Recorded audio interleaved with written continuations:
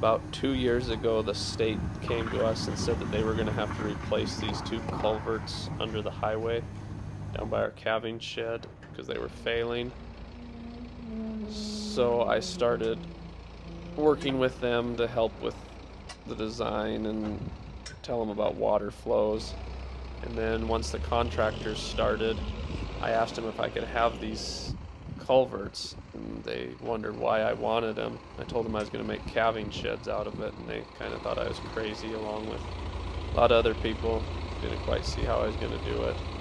So this is a short video on the process of getting these culverts and turning them into a calving shed.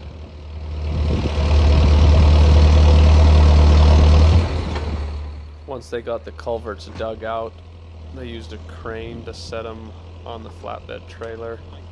And then we didn't have a very good plan to get them off, so we improvised and just had to shove them off with the tractor. It got a little bit western.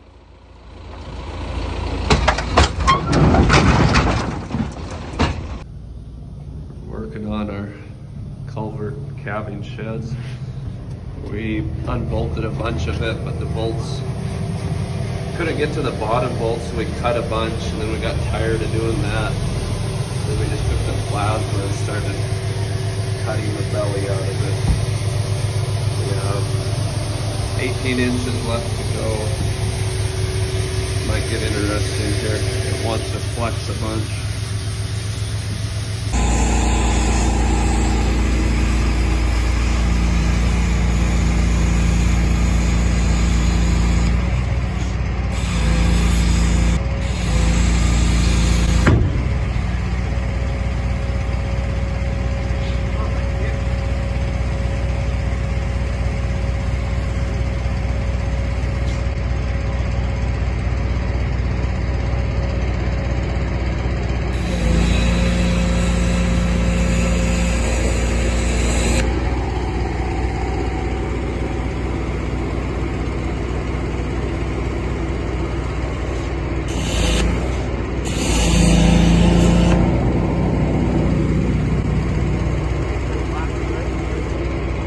about on the ground now. It's about on the ground now.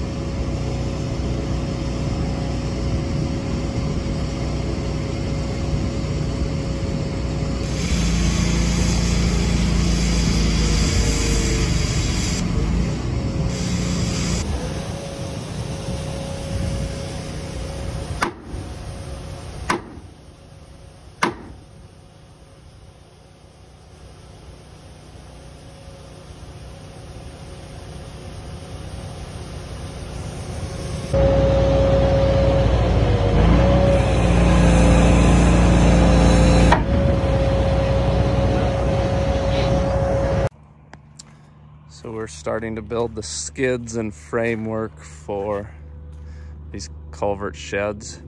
So I've got my cross members and uprights cut. And then these long chunks are gonna be my skids. So I'll weld two of them side by side to give it more surface area, then weld from there.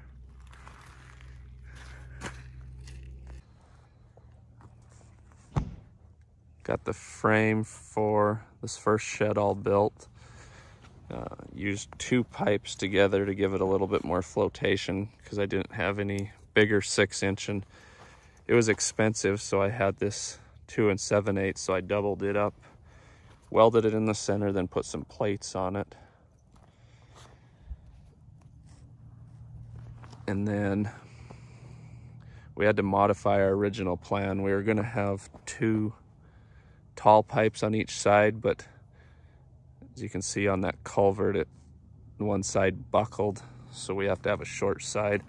So the little stub pipes are just there to connect the cross members over to this other upright pipe. Should work pretty good. Got it all welded up. Put a couple corner gussets in it. Some angled ends so it'll hopefully float over the dirt and ground a little bit better. But here in the next day or two, we'll get this stuffed inside the big culvert and welded down and then put some gates and a head catch in it and it'll be ready to go. We thought it'd be kind of a pain to have to load this frame for the shed, so we're just gonna drag it the couple hundred yards down the highway out to the field and put it in the culvert.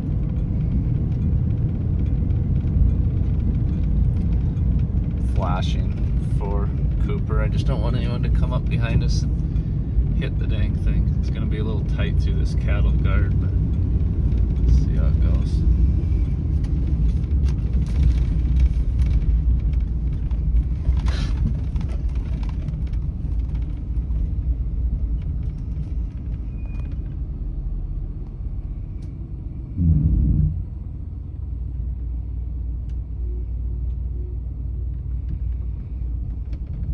There, made it. Pulls pretty good. I don't know what it'll do when it's got 20,000 pounds of culvert sitting on.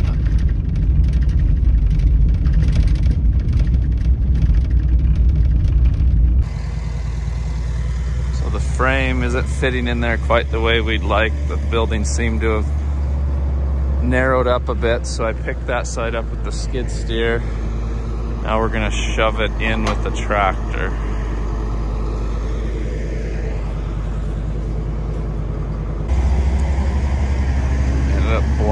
This side up on two little blocks, so then we can still move the runners around. And we're gonna pick this side up and set it on the runners. Then come around and pick this end up. Is our plan now. Kind of a snowy, miserable day, so put the culvert sheds on hold.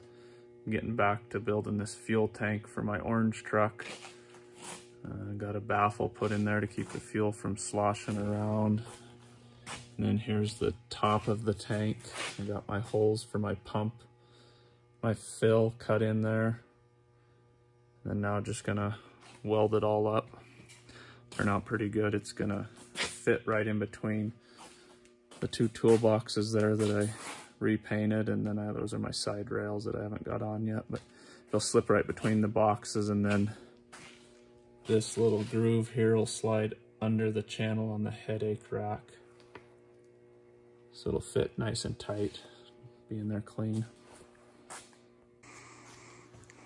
Got some welding projects done in the shop today. The fuel tank is all welded up. I'm just waiting on some two inch threaded ports for my pump and fuel fill.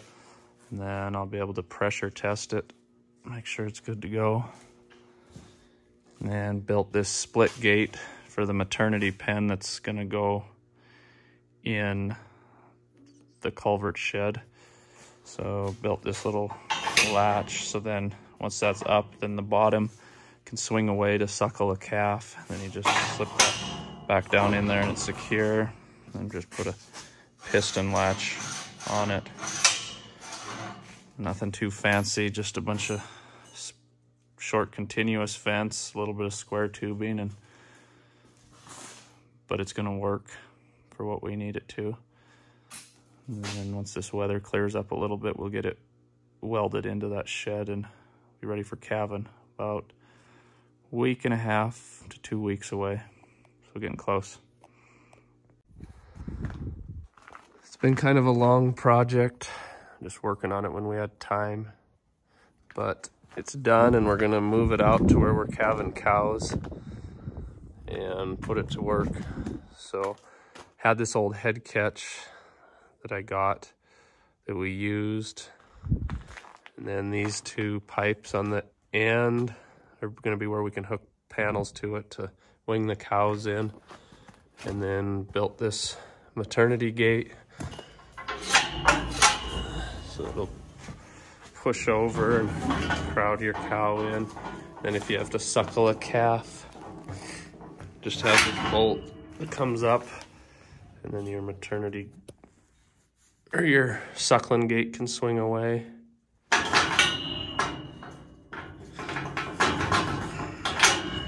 Drops in there and then in the back, just have two pens, gates had around, built these spring loaded piston latches for these HW gates quite a while ago. They're not the fanciest, but they work.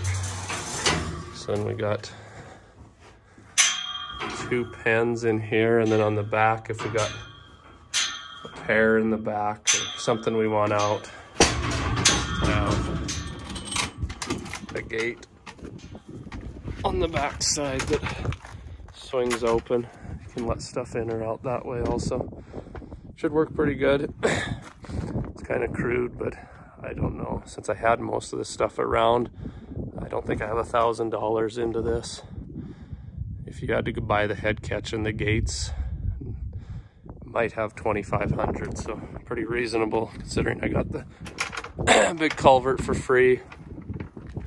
And we still have this one here that I'm gonna cut in half just make two sheds that you could put a pair in or calves can go in it to get out of the weather. Should be pretty nice. We'll see how it moves now. We haven't drug it anywhere, so this will be the test. See how it drags. It's about half a mile out to where we want to put it. It's moving. It took a while to break it free and get it there, but it's on its way.